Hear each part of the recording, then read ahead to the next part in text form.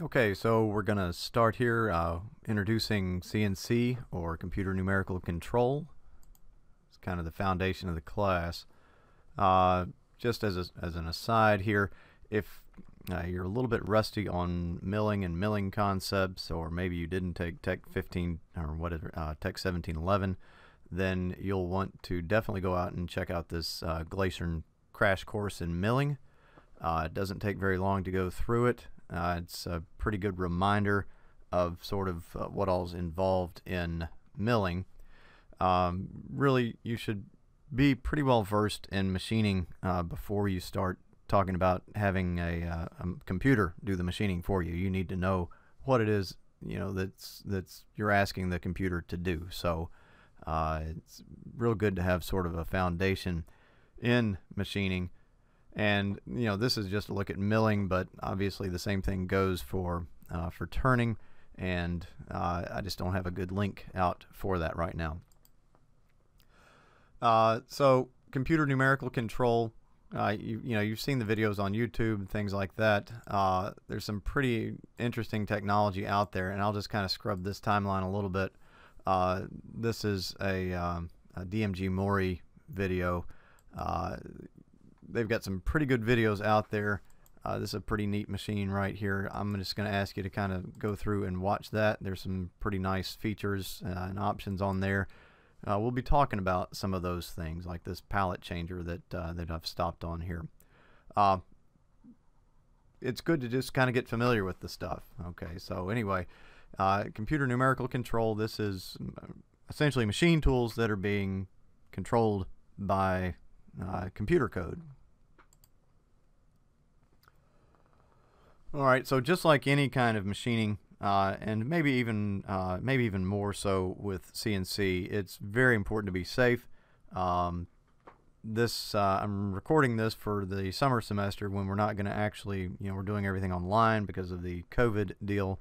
Uh, but uh, if you find yourself in a semester, if you're watching this uh, for review or for whatever, um, if you're in the machine shop, around the CNC equipment, you need to be very careful, just like you would with any other machines.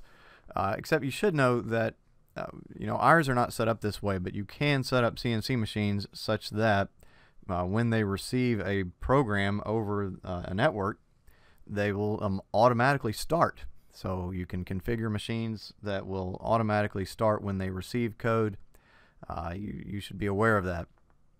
Also, a real easy, good way to get hurt with a CNC machine is doing setup work. So if you're uh, doing tool offsets or something like that, where you've got your hands in the machine and you're uh, uh, moving things around in there with the machine, very easy to get hurt. These machine tools do not have any kind of flesh sensor on them, and uh, you can be killed or maimed, uh, or you know otherwise seriously injured uh, with a CNC machine.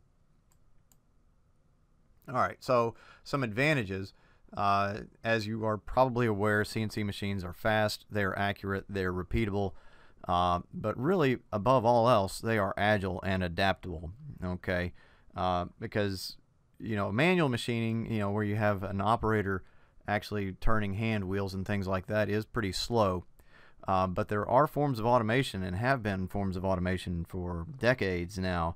Um, they're coming up on a century now that were fast, accurate, and repeatable. So if you think about a, an old manual, uh, not a manual, but a Brown and Sharpe automatic screw machine uh, or an automatic lathe, those things were fast and they were accurate and they were repeatable. Okay, uh, maybe not quite to the degree that CNC machines, uh, modern CNC machines are, um, but they were these things. You could make a lot of parts really fast and you could they could be repeatable. The biggest difference, the biggest improvement of CNC over traditional automation is that it is agile and adaptable. You see with uh, with things like a screw machine, uh, and I'm just going to drop down here later in the lecture and, and point to what I'm talking about in case you're not familiar with what a screw machine is.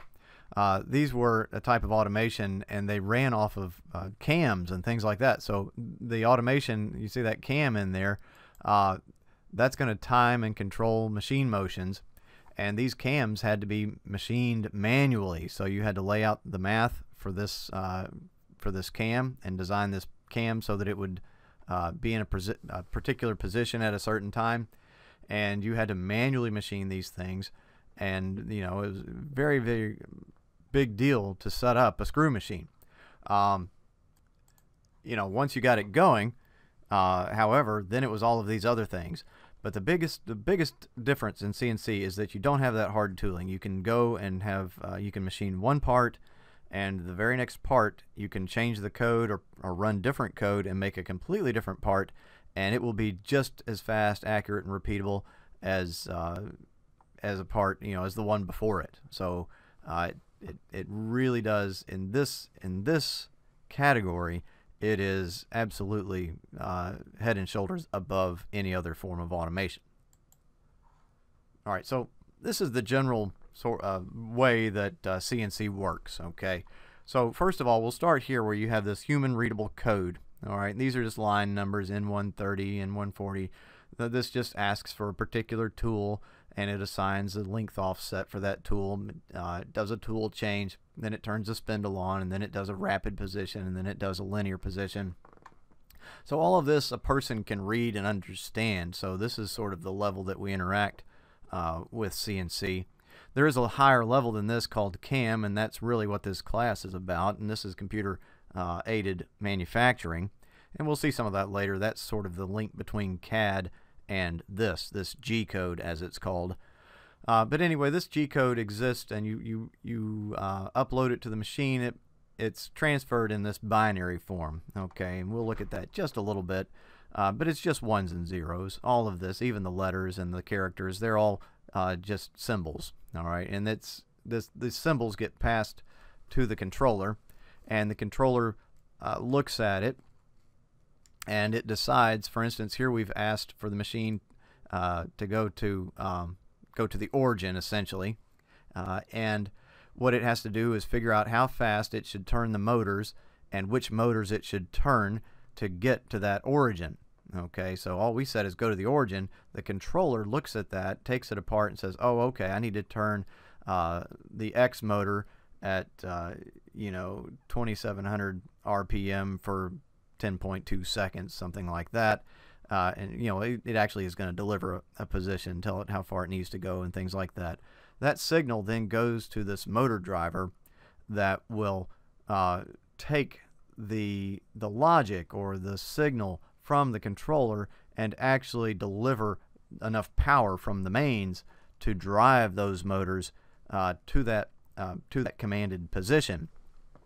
Now, uh, in, in certain low budget uh, CNC machines, this might be a stepper motor, and that might be the end of the story. You just you just act as if you know you, you try to turn say a thousand steps uh, in the forward direction, and you just deliver that that uh, those steps to the motor, and you hope that it turns. Uh, more commonly in, in industrial CNC equipment, there is this feedback loop. There's an encoder on here that measures the actual position that the uh, that the particular axis wound up at. So if you told it to go to x 10.0000 and it winds up at x 10.001, uh, it will adjust. There's this feedback loop, and uh, if you have a servo system, it will uh, there will be this feedback loop, and it will if it's not in the right position, it will move the motor again until it is in the right position. Uh, and in fact, uh, if you go down to our old TM1 downstairs that has hand wheels on it, uh, if if the machine is up and running and it's at a particular position, you can just barely touch those hand wheels and you can feel the servo system working and adjusting to the additional stress that you put on that on that hand wheel. Uh, if if we're uh, if we're in class again sometime, I'll I'll show you that. All right, but that's sort of the general picture. Okay, so uh, you have these different uh, components that have to kind of work together. All right, I said, uh, let's see, so we, we talked about what a program is a little bit. That's, uh, that, whoops, that's this thing right here. Okay, that's the code. Um, we'll look later on how to get this out of a CAM system, but for right now, it's just, you could be note, it could be notepad, all right, just an ASCII text file. Uh, binary is sort of the the structure of the code as we send it across like an RS-232 or a USB uh, or other kind of network uh, connection. It, it goes into this, uh, you know, it's binary is, is, the way that it's transferred and understood. Um, and then optionally we said there is this feedback loop. Uh, if it's open loop, then there really is no feedback. That's where you just send steps to a motor, tell it to try to turn 100, you know, a thousand steps or something like that, and you hope for the best. Uh, with closed loop, you, you have an encoder or a resolver, some way to measure the actual motion, and you compare that and you adjust as necessary. Uh, just a little bit of review on what binary is and how it works. Uh, it is this code, and here we're reading it from right to left, and uh, each of these spaces, each of these digits here, can either be a 1 or a 0. All right, so in decimal format, this would be 1001, but in binary, this is actually the number 9. Okay, so how did I arrive at the number 9? Well, each of these positions has a value. 2 to the 0th power in the first position here, that is 1. 2 to the first power is 2. 2 to the second power is 4. 2 to the third is 8 and then 16. You notice that it doubles each time, okay? Uh, so what that means is any unique number you can represent with this. All right, if we wanted to represent the number 1, uh, we would just turn off this this uh, number 8 bit. Okay, so it would just be the number 1 here. If we wanted the number 2, we would turn off the 1, turn off the 8, and we would only turn on the 2.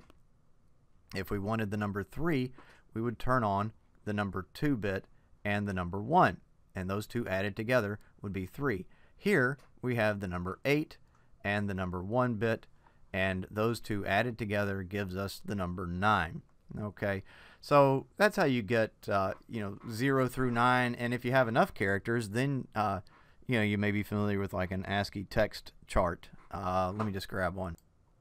All right, so here you can see that if we want to represent the letter A uh, in decimal form, we could just use the number 65. Okay, so we can represent all of the letters, all of the numbers uh, with, you know, just by assigning and saying we're going to make the number, some number beyond, you know, uh, 9 uh, is going to be A, and then this is going to be B. So if we just agree ahead of time, then we can represent any symbol, any letter uh, that we have space for. You know, we can have uppercase and lowercase even.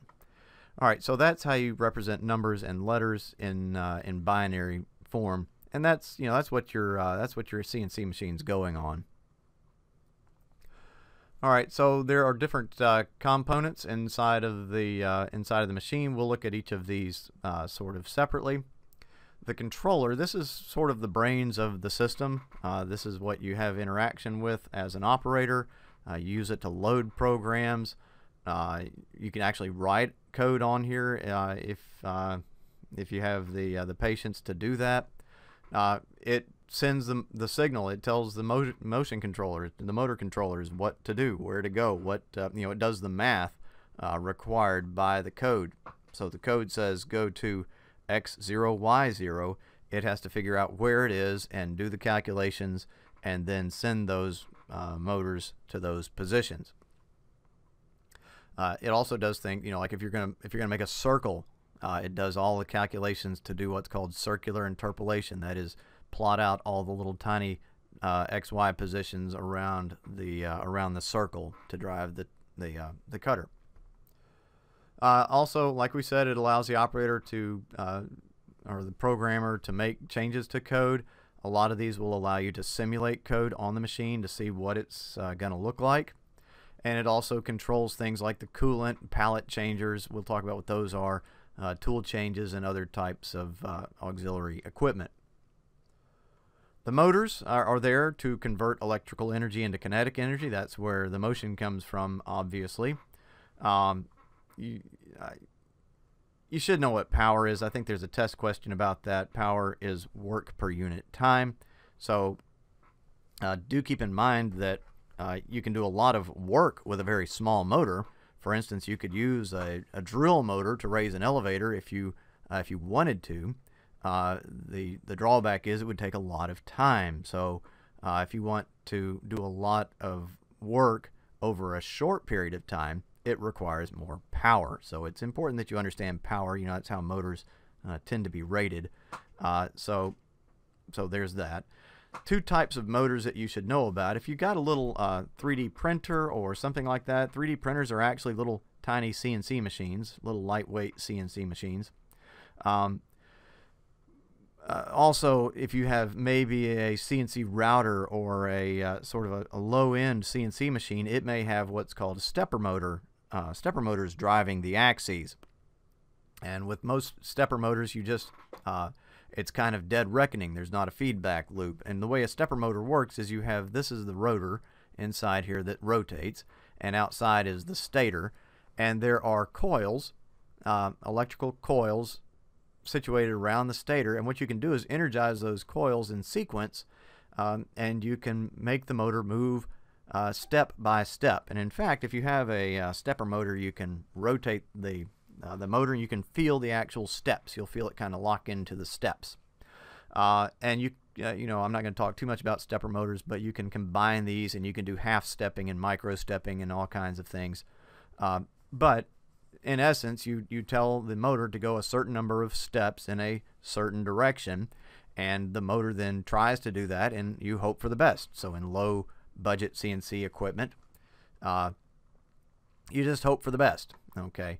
Uh, in real CNC equipment, you have servo motors, and servo motors uh, have this additional feedback mechanism, feedback loop in there that evaluates how far the motor turned, and if it hasn't turned far enough, then it will adjust.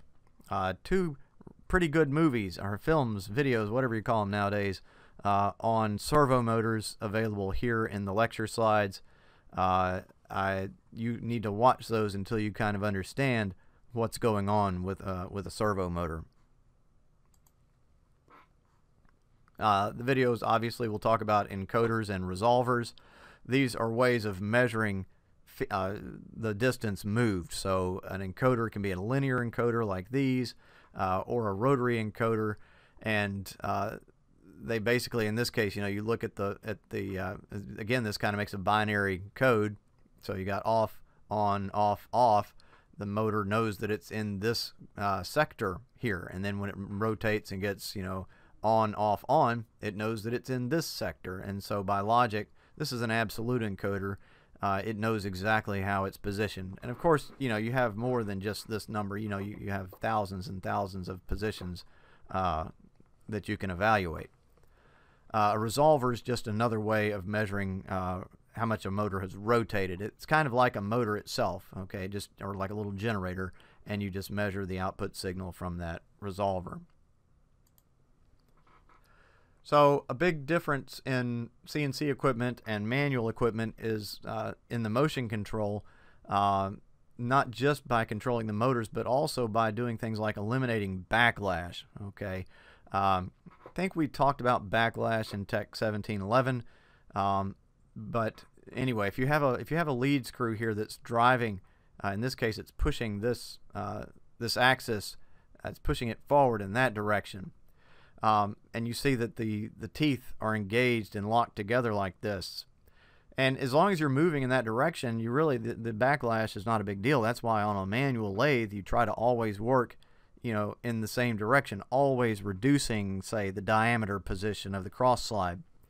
Uh, but on a CNC machine, um, you want to be able to move back and forth. And, and so if you go in the opposite direction here, you see there's a gap where this axis will remain stationary while this lead screw turns until the lead screw catches up with this face of the uh, of this nut that's driving this axis.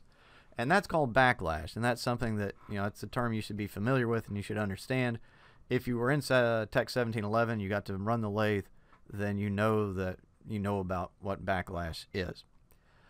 Uh, one way to eliminate backlash is to use a ball screw. Let me just talk about some other ways. Another way that you can eliminate backlash is to take this nut. You know, you, you can tighten this thing down. You can tighten everything up. Sometimes you can even take this nut, split it in half, and put a spring in between here so that you're actually contacting in both sides. And that does work, but it adds friction to the mix. Uh, ball screw is a pretty good way of uh, eliminating both you know, reducing that friction, getting rid of the friction, and getting rid of the backlash at the same time. So now you have rolling contact uh, in a ball screw, rolling contact between the ball screw and the ball nut. Uh, and so the the balls in here, since they're in rolling contact, they're going to eventually work themselves out of the assembly. And of course, you just capture them, guide them back in. Uh, but this makes a real nice arrangement where you have uh, the ball is actually transmitting the uh, the motion from one from one element to the next. There are other accessories on lots and lots of CNC machines. This is a partial list. Uh, some of the, the more popular things uh, that you'll see, though, uh, there are bar feeders. in this case, this you know this what you can do with a bar feeder hopefully it's obvious. You load this thing up with a bunch of bar stock at the beginning of a shift, and it can load the lathe automatically, you know, through the spindle. Uh, so that's that's the idea behind a bar fin a bar feeder. You can set up and run the machine uh, automatically, may maybe through a whole shift of uh, by loading material separately. Uh, there are tool magazines and tool changers. The tool magazine is what stores the equipment, stores the tooling. So this is uh, chain type uh, tool magazine. Um, you can load that down with lots and lots of tools. And then separately, there is a, a device to change the tools. So there's an example of a tool change uh, on a uh, on a machine. I think this one, I think this one's an older machine. It's a little bit slower. Uh, you can see the uh, the tool change happen there. All right, so that's uh, two separate things, and there are different ways of doing tool changes. That's, you know, we just saw two. That's two different ways of, of doing it. Uh, and there are different types of tool magazines. Uh, you can also do in-process gauging, where you go in and physically measure the part as you're machining it. Uh, and so this is a little uh, grinding uh, operation, and they're going in and actually measuring the part to verify that it's approaching the, the nominal or the target size. Um, these are two pallet changer videos. Um, for some reason, students get confused of what the heck a pallet is, and, and a pallet is just a, an easily interchangeable work holding device that allows you to do the setup uh, outside of the machine. So you can uh, you can swap out the entire work holding apparatus uh, with with or without the the workpiece already installed. So that lets you do the setup, the workpiece installation outside of the machine and while the machine is uh, making chips, you can be doing setup for the next job. And then the changeover is just a real quick uh, swap of the pallet. So this is an example of a uh, pallet changer. So you see all the work is mounted on that pallet. And here you could have another vise with, uh, with the work already installed and indicated in. And now you can just hit cycle start. You don't have to stop the machine to work on it.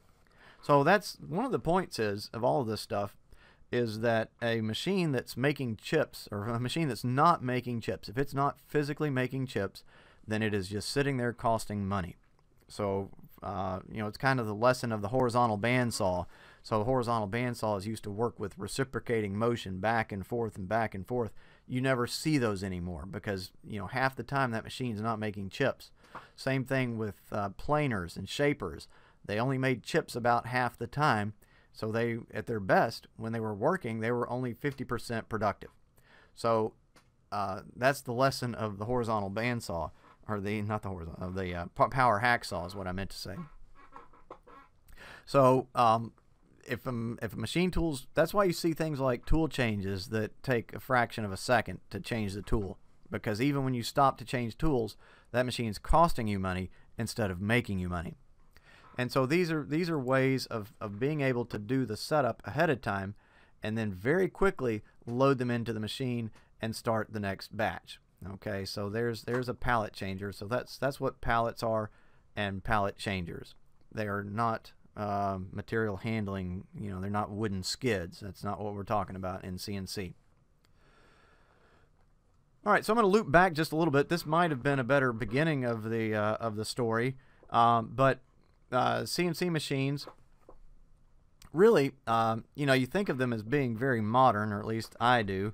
Um, and the real thing is that CNC technology, this is really one of the first things that we got computers to do. You know, it's one of the Uh, it's on the very short list of things that people wanted computers to do back in the day. They wanted to do, you know, payroll information, census data, uh, aim guns on ships, and also drive machine tools. Okay, and so that's why uh, as early as 1952 there were working uh, NC machines. Okay, uh, and um, the, what what really is the most modern thing is the fact that PCs became popular, you know, in the uh, in the 80s and 90s. And so it wasn't really the fact that the CNC technology wasn't there. It was just the fact that computers were so expensive, it wasn't all that popular. But it, they have a pretty interesting um, um, history. If you go out and, and read about John Parsons and this uh, his patent, uh, and I've linked to it here in the slides, um, uh, what they were trying to do is is machine these uh, uh, helicopter uh, rotors, and they had this really complex geometry. And what Parsons and his associates had done was actually create a computer program to calculate the points. And he realized, you know, we've got these points. If we just had a way to get the machine to, to drive to these points, we'd have a really neat machine. And so that's what he patented here. Uh, but really, you know, 1952. And I will point you to the Scientific American article on the eCourseware site. Uh, if, or if you have access to this, I think it's on JSTOR. Um, really interesting article from 1952 about really the dawn of, of this whole technology. Uh, in fact, the whole the whole uh, Scientific American issue was about uh, automation and, and feedback uh, control. It's pretty interesting. Uh, anyway, this is uh, this is some punch tape that I have sitting here in my office of a of a program, and you can see the binary action here. So you have where you've got a hole punch, that's a one, and where you are missing a hole, that's a zero. And this this is just the sprocket drive. You'll notice there's always a hole there. This is kind of the clock uh, uh, pulse. So you know now I'm at the next bit, now I'm at the next bit, or the next the next byte, the next collection of bits there. And so this is the binary that you used to be able to see. Uh, and really into uh, my working career, and uh, there were there were still punch tape machines uh, with punch tape readers uh, still working. Uh, it's probably pretty rare now, um, especially in the United States. All right, but I've already shown you these screw machine videos. I would suggest you go out and watch some of these. it's pretty pretty interesting. Um, you know, pretty antiquated technology now. There are still uh, screw machines out there. Um, really, most uh, most things doing screw machine work are CNC now because it's just a monumental task to get these things programmed. There were also uh, a form of automation I didn't talk about, uh, but there were tracing lathes and uh, duplicating mills and things like that that had sometimes hydraulic uh, tracers on them that would trace this hard tooling and copy it. Uh, of course, hard tooling being the key that if you if you wanted to run a tracing lathe to make furniture or rifle uh, butt stocks or something, you uh, you had to have a master first that was uh, made of some kind of robust material like like metal. Okay, so you had to you had to make the first one, and then you could copy it over and over and over again. Uh, and so what um, what CNC enables you to do is eliminate that entire hard tooling uh, step. I don't want to oversell it though, but a lot of there is a lot of misunderstanding out there about what CNC machines do, and you'll hear it from people who should know better. Uh, but they have this impression that uh, a CNC machine is essentially a 3D printer for metal, and if you have a CAD model and you have a CAM system, you just wave the CAM system at the CAM CAD model, and you can just have your CNC machine spit out a part. Uh, let me assure you, and by the end of this course, you'll understand that, that nothing is further from the truth. Okay, there's still a lot of effort that goes in to programming, even with a CAM system, and also there is the big problem of work holding. Okay, you can't always just stick a part into the vise uh, and be able to have uh, something like a, a, uh, a, a hip hip replacement pop out. All right, there's a whole lot you have to do to be able to fixture that part uh, and position that part such that the uh, the machine tool can actually make it. All right, uh, there's some pretty neat stuff out there online. This is a link out to the oldest surviving CAD CAM uh, object. It's an ashtray, as you would expect. um, from the time period. Uh, let's see. We'll talk a little bit about the formatting, okay? And some of this, you know, stems back to the days. Uh, you know, we're going to be using uh, a language that was written back in the day when it was transferred. You you transferred that program from one machine to another using punch tape, okay? And so that's one reason that G code, which is the language we're going to be using, it's RS274 uh, is the, the language commonly just called G code because of all the G's involved. Um, it's pretty cryptic. It's pretty short. Okay, so this, if we were writing the language today, we might write linear or or move or something like that. Uh, but that would have cost if we were you know back in the days in the 50s that would have cost us M O V E uh, you know four or five lines of code, one line of code, one line of punch tape for each uh, for each character. So this G was a character, the O was a character, the 1 would be a character. So each of these lines on this tape are a single character. Um, now, G code, uh, the language we're using, is what's called a word address language. Okay, so a word might be X20. The address would be the X, and it has special properties built into it. You know, this refers to a particular axis on the machine and then the parameter that that x gets is 2 and the point 0 is important. We'll talk about that. Uh, but the these words and addresses the words are collected into blocks and the block is the level of execution. So each uh, each block of code gets executed and we'll talk more about that uh, later on. But uh, but this is a block of code and um, it's it's telling the machine well, actually, we, it's a little bit, uh, we don't really know what it's telling the machine because there are some variables that could be happening above here that would affect how this uh, changes. But it's probably telling us to take the x-axis to the position of 2.0. All right, I did mention this stuff called CAM, and in fact, this is what the class is about, uh, is computer-aided manufacturing, uh, and it is the link between CAD and CNC. So uh, really, if we're going to talk about CAM, uh, we're going to do some manual programming because if it's if this stuff, the CAM is the link between CAD and CNC, then we need to know about CAD and we need to know about CNC. All right, we've already had a whole class on CAD 4472, and uh, so we need to pick up and get as much of a class out of CNC down here because uh, really, if you don't know CNC, I don't I don't understand how you could uh, expect to use CAM uh, properly. Okay, uh, these are just some lists. I would suggest you go out and look at some of these manufacturers and get familiar with them. Um, if uh, you know, get to get to know some of these and what sort of uh, what sort of things they specialize in. Um, you know, like Amada tends to do sheet metal processing stuff, and Brother does a lot of screw machine type things, and uh, Chevalier, they do CNC type stuff. Citizen does a lot of uh, uh, Swiss lathe screw machine type stuff. Uh, but go out and, and, look up some of these. Be familiar with them. Uh, you know, so if you go on a plant tour or something, you can ask people and, and not sound like a nitwit. You know, you, you can talk about some of this stuff. Uh, we will have a little CMM unit inside of this class. Um, obviously, whether or not you're actually programming the CMM depends on whether or not we're having uh, live and in-person classes or not. Um, but get familiar with some of these uh, manufacturers. Also, work holding is a big, big chunk of, uh, of CNC machining, and so get familiar with some work holding manufacturers. If you took tool design or if you're taking it, uh, maybe some of these will be a little familiar to you, maybe not. Uh, also, cutting tool manufacturers. You know, get to know some of the names. All right, so that's uh, that is the introduction, and I'm going to lop it off there.